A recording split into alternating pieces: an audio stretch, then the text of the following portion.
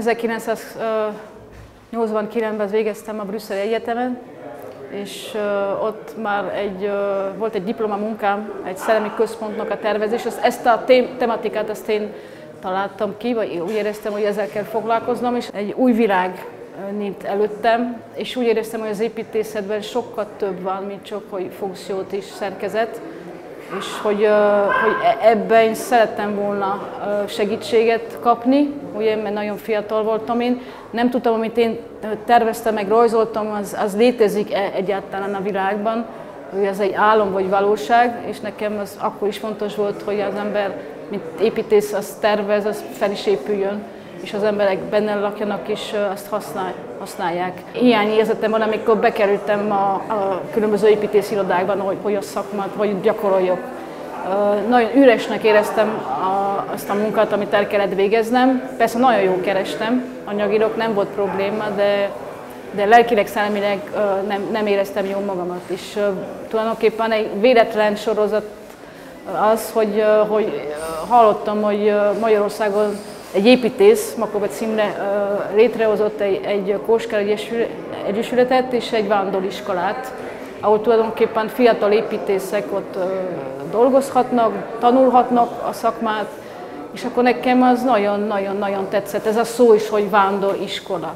Nagyon keveset tudtam akkor Makovec Imréről tulajdonképpen, Ilyen értelemben nem teljesen igaz, hogy, hogy miatta jöttem ide. Persze ő miatta, de igazán nem tudtam ő kicsoda és milyen munkái vannak. És csak ennyi volt, hogy ez a nagyon pici, egy 3 centi, 3 centi fénykép, nagyon rossz minőségi fénykép a, a farkashéti ravatarozóról, és egy fénykép róla, de, és, és az valamilyen szinten belül megfogott, és mondtam, és hallottam ez a vándoriskoláról is, ez a kettő együtt tulajdonképpen itt bennem, hogy akkor megyek. De igazán nem tudtam semmi, se Magyarországról, se pontosan, hogy milyen munkám lesz, miből fogok élni, hol fogok lakni, szóval nyelvet se tudtam, nem is tudtam igazán, mi volt akkor Magyarország, ugye 1990-ről van szó, azért az egy más világ voltak a Magyarországon. Érdekes módon akkor nagyon sok fiatal építész érkeztek külföldről, nyugatról Imréhez, meg akartak tőle tanulni, szóval nem voltam egyedül, csak én maradtam itt, a többi hazamentek egy fél évvel később, de akkor együtt volt egy kis csoport, és akkor így együtt voltunk.